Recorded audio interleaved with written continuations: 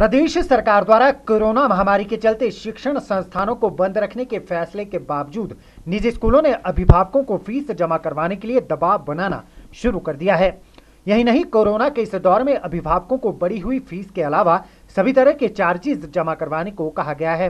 निजी स्कूलों की इस मनमानी को रोकने के लिए अभिभावकों ने भी मोर्चा खोल दिया है और जिला प्रशासन से निजी स्कूलों की मनमानी पर रोक लगाने की अपील की है। निजी स्कूलों की मनमानी को रोकने के लिए स्कूल अभिभावक संघ का एक प्रतिनिधिमंडल एडीसी शिमला, अपूर्व देवगन से मिला और उन्हें वस्तु स्थिति से अवगत करवाया। अभिभावक मंच के पदाधिकारियों का कहना है कि निजी स्कूलों ने कोरोना महामारी के इस दौर में अचानक फ़ीस वृद्धि करके अभिभावकों पर अतिरिक्त बोझ डाल दिया है। यही नहीं, गत वर्ष की तरह इस वर्ष भी अभी तक स्कूलों में एक भी क्लास नहीं लग पाई है। बावजूद इसके निजी स्कूल अभिभावकों से बढ़ी हुई फ़ीस जमा करवाने के साथ ही सभी तरह के चार्जेस भी जमा करवाने के लिए दबाव बना रहे हैं। उन्होंने ज्ञापन के माध्यम से निजी स्कूलों की इस लूट पर लगाम लगाए जाने की मांग की है। जो भी वहाँ पे प्रेसिडेंट है, वो जो स्कूल प्रबंधन है, उनके इशारे पर काम कर रहे हैं। इसका भी हमें ध्यान रखना पड़ेगा। और जहाँ तक ये ट्यूशन फ़ीस की बात है, वो तो सही है। लेकिन जितना भी एक एक्स्ट्रा बर्डन जो पेरेंट्स पे डाला जा रहा है हम सरकार से मांग करते हैं कि इसको ख़त्म किया जाए। ये चीज़ बिल्कुल ना ली जाए।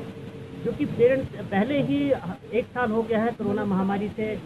हर इंसान, पूरा विश्व जूझ रहा है और उसमें हमारा हिमाचल भी पूरी तरह जूझ रहा है। और लोगों की आर्थिक जो आय है, आर्थिक बिल्कुल मंदी में चले गए हैं। लोगों का अपना जीना दुभर हो गया है। ऐसे में आप किस तरह से अपने जो है पेरेंट्स को किस तरह से आप उनसे फ़ीस का बोझ ला सकते हैं, ये उचित नहीं है। पेरेंट्स एसोसिएशन शिमला से हमारा एक एसोसिएशन बना है, जितने भी शिमला के अंदर प्राइवेट स्कूल है, उसके अंदर हमने एसोसिएशन बनाया है।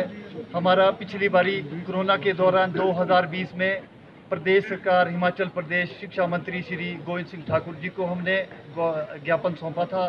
श्री जयराम ठाकुर जी को हमने स्वयं एसोसिएशन ने बात की थी कि भाई इस कोरोना महामारी में अभिभावकों को जितने भी हिमाचल प्रदेश में प्राइवेट स्कूल है, सभी को स्कूल फ़ीस के बाद रिलैक्सेशन दी जाए। एनुअल चार्जेज स्कूल बहुत ले रहा है। मतलब स्कूल ने खुला लूट मचा रखी है प्राइवेट स्कूलों ने तो इस बारी भी सभी स्कूलों को फुल फ़ीस का मैसेज आया है कि पूरी फ़ीस जमा करिए आप। उन्हें फ़र्स्ट क्लास की बीस हज़ार फ़ीस है। तो कहाँ से हम अड़तालीस अड़तालीस हज़ार फ़ीस देंगे? कि कोरोना आप देख रहे हैं, बहुत बढ़ रहा है। आज हम कोर ग्रुप शिमला का जो कोर ग्रुप है, उसके कुछ एक सदस्य आए हैं। यहाँ डीसी साहब से ज्ञापन सौंपने के लिए।